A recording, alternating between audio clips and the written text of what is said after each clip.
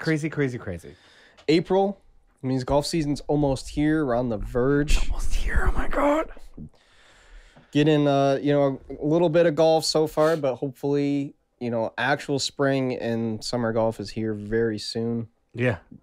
I get like sports horny for it. I just want to be outside. I'm so sick of this the snow and cold and not being able to spend seventy dollars on rounds of golf. Yeah. It's nice just getting this time of year. College basketball wrapping up. Masters is coming Mhm. up very quickly. Very quickly. Pro golf scene's just, you know, taking off for its whole season and uh Mhm. finally get out there and get some of our uh you know, we're gonna do some scrambles at courses, see what we can shoot there. Heck yeah. Um, I'm gonna start collaborating with some of these people you've seen us interviewing, Mhm. ideally the past couple weeks, uh, getting them involved. Um, Yeah. yeah, be interesting just i'm excited to see how um you know we've talked we've always just played against each other and then like we played with each other but like actually setting like a goal and like videotaping it and like Yeah. having that extra added pressure um that'll be that'll be fun i'm i'm excited for that part you're gonna watch you get to watch the whole journey of us become golfing experts yeah. We haven't done a like.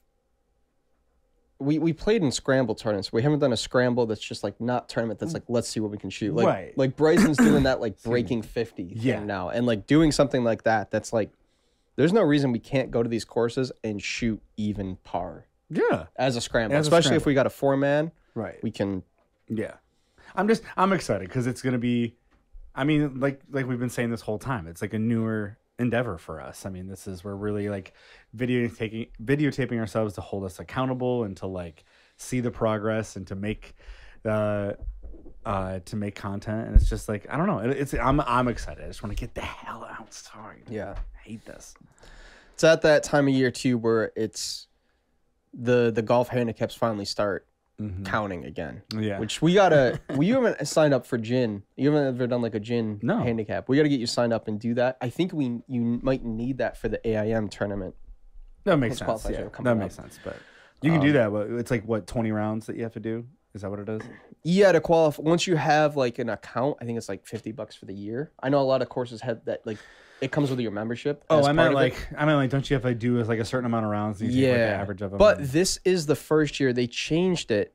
It used to be if you played like a nine hole round, that Mhm. nine hole round would just like sit there until you had another nine hole round to match it, and then it would count towards your handicap. This year, it just changed for the U.S. that when you have a nine hole round, it is submitted that next day as its own round, and it just basically, I'm not sure how the the formula works out, but it's calculated into your golf handicap immediately rather than like if you played nine holes and then you had like three weeks that you only played 18 hole rounds now you've got this nine hole round that was just kind of like sitting there on hold until you had Right. the nine to match it and they, Okay. they changed that which i think is it, it it'll help my handicap be more accurate i guess because Yeah. a lot of times i'll go out and play these nine hole rounds and Mhm. it's it's tough going day to day like that and i think that's why my f- handicap normally fluctuates a little bit more Yeah.